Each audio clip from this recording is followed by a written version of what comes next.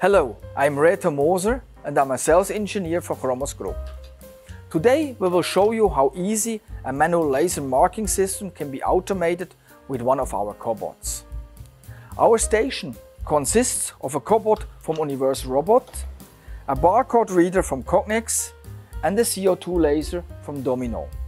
With the barcode reader we check the quality of the engraved QR code and relocate the parts for further processing.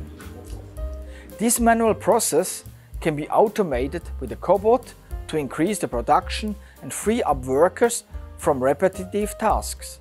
The cost of integration into an existing system is very low and with a return of an investment of only one year. Not only the costs are low, within just a few days of your purchase, the system is up and running.